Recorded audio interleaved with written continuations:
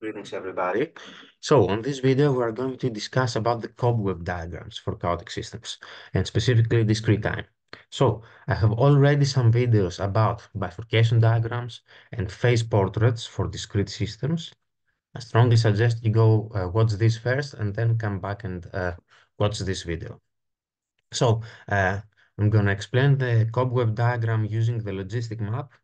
So let me remind everybody, one-dimensional system, discrete time, okay, it has one parameter, which is R, and one initial condition. So how do we solve this?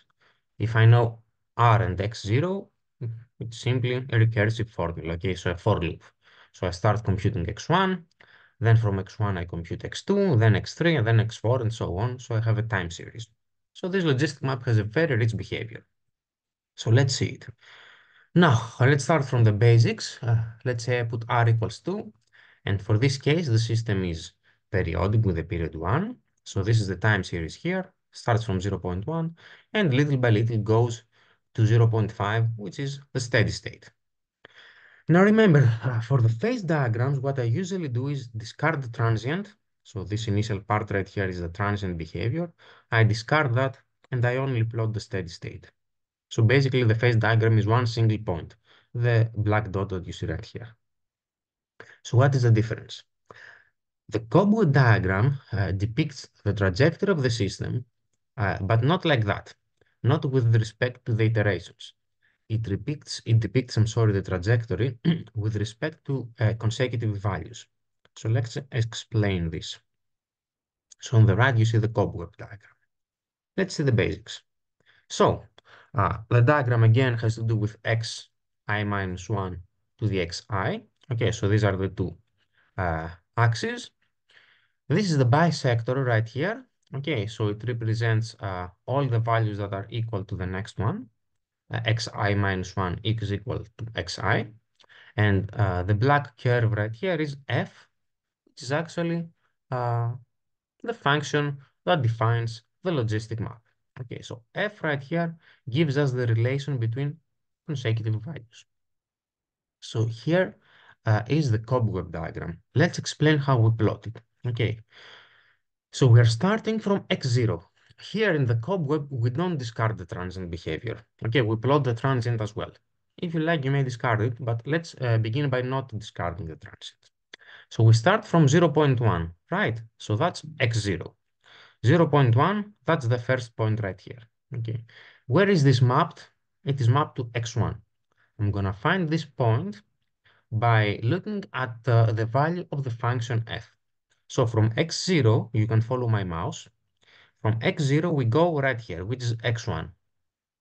So how can we know how we go from x1 to x2? We'll simply find x1 in the bisector. So from x1, we go right here in the bisector. So it directly gives us the value of x1, right? So now I can understand by plotting a vertical line that x1 is mapped into the next point, which is x2, right? So this is x2 right here. So where is x2 mapped? Well, let's go again into the bisector. Follow my mouse, please. So this is x2. And x2, by plotting a vertical line, and seeing where does it intersect f, it intersects f right here. So this point right here is x3, right?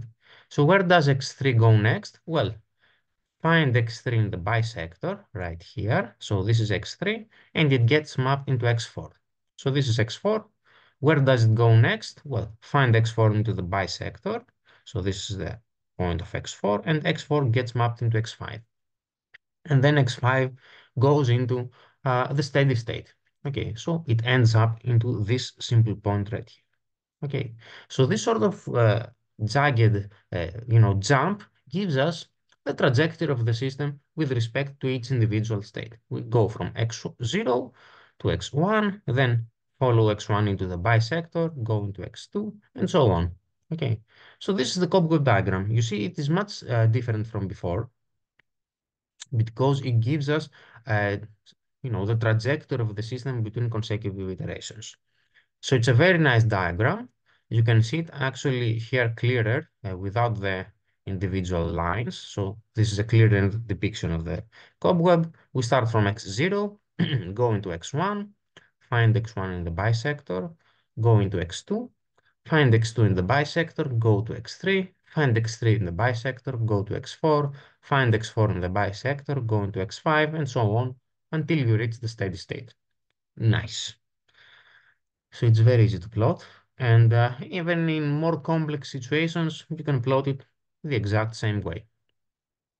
So see another case for r equals 0.8. Again, we have period 1, but you see the transient here is a bit oscillatory. So it oscillates a bit back and forth, up and down, until it reaches the steady state. So let's see how the cobweb looks in this case. So again, uh, we start from 0.5. So this is x0, and we follow the exact same procedure. We look into the curve of the function, so x0 gets mapped into x1, this is x1, follow x1 into the bisector, so it gets mapped into x2. You see now, since the curve is below the bisector, we don't go up, we go back. We go, I'm sorry, we go down, but it's the same idea. Uh, we plot the vertical line and we follow uh, the curve, right? So x0, x1, follow x1 into the bisector. This is x2. Follow x2 into the bisector, go up. This is x3. Follow x3 into the bisector, go down. This is x4. I have mentioned it here. Follow x4 into the bisector. This is x5. Follow x5 into the bisector. This is x6. And of course, you see this oscillatory behavior until we end up in the steady state. So this small oscillatory behavior right here is what you see in this small region. So again, slightly different from before, but I can plot it following the exact same rules, right? So that's the nice cobweb. It gives us an understanding that we have an oscillation as we move into the steady state. Now, if we have period two for r equals 3.3, for example, you see in the phase diagram, we only plot the steady state, which is two points, right? Well, cobweb, we have the exact same behavior, but let's see how it is plotted. Okay, so this is the cobweb. So we start again from 0.5. We go from 0.5 through the curve to x1, follow x1 into the bisector, then we go into x2, follow x2 into the bisector, go into x3, follow x3 into the bisector, go into x4, follow x4 into the bisector, and go to x5, and so on and so on. As you can understand, we have now fallen into periodic behavior. So this is how periodic behavior looks in the cobweb, right? We have two intersections. so the trajectory uh, intersects this curve into this point right here and this point right here. And of course, these are the two period points that you see uh, in the phase diagram. So this point and this point are actually this point and this point, right? So clearer as that. I mean, it's very simple to plot it. What if we have period, period four? Well, same idea. Here we have period four. For the phase diagram, we only plot the steady state. So we have one, two, three, and four uh, points. Let's see how the cobweb works. We start from 0.5. So let's see. 0.5 is x0. We go into x1 through the curve, follow x1 into the bisector, then go down into x2, follow x2 into the bisector, go into x3, follow x3 into the bisector, we go into x4, follow x4 into the bisector, we go into x5, follow x5 into the bisector, we go into x, x6, follow x6 into the bisector, we go into x7, and so on, and you can clearly understand we have now fallen into periodic behavior. Simple as that. And not only that, but we can actually understand the uh, transitioning between states. So in the phase diagram here, we can understand what are the uh, transitioning between uh, the four states, in what order. But here I can understand if I'm here, next point is, well, here. When I'm here, next point is here, then next point is here, then next point is here, and so on. So I can understand the transitioning between the four points of the period. This one, this one, this one, and this one, right? So a very nice diagram. And again, when I have a period four, uh, period four, I'm sorry, period eight. eight, one, two, three, four, five, six, seven, eight, the diagram is basically, I'm sorry, the same as before. So let's see it. So again, we start from 0.5, so starting position, we go into x1, then through the bisector into x2, through the bisector into x3, through the bisector into x4, through the bisector into x5, okay, then x6, then x7, and then again through x8, and then the trajectory repeats itself. So I immediately understand that I have four individual uh, period, I'm sorry, I have a periodic uh, behavior with four individual states, one, two, three, four, uh, five, six, seven, and eight, right? And as I told you earlier, you may choose to plot or not plot the transient. so this is uh, the same diagram without the transient behavior. Obviously, it looks much clearer. Uh, so it's up to you to decide if you want to include it or not. Of course, what happens now that we have, uh, in this case, a chaotic behavior? Well, in the phase diagram, the chaotic behavior pretty much uh, gives us an innumerable number of points. So we, uh, with all these points, we follow all of the curve right here, as you see, uh, just because we don't have a period. And this means that uh, the points cover all of the curve of the map. And you can observe the same behavior through the cobweb. Right, so since we have an absence of periodic behavior, the cobweb diagram intersects the the, I'm sorry, the function of the map into numerous different points, which are actually infinite. So here I have plotted, I think, 100 individual values. If you plot 200 or 300 or even more, you will, you will simply end up uh, by taking, you know, a much, much denser diagram, uh, but the behavior will be the same. So here on the cobwebs, when you see very dense trajectories like that, it is an indication that we have chaos, right? So simple as that. And uh, you can plot the same diagram with uh, many different maps, of course. Uh, so for example, if I choose another map, uh, you will pretty much obtain the same behavior. But before I show you, uh, show you that, let's see this diagram right here. I have plotted two different uh, functions. I'm sorry, I have plotted the logistic map for two different parameter values.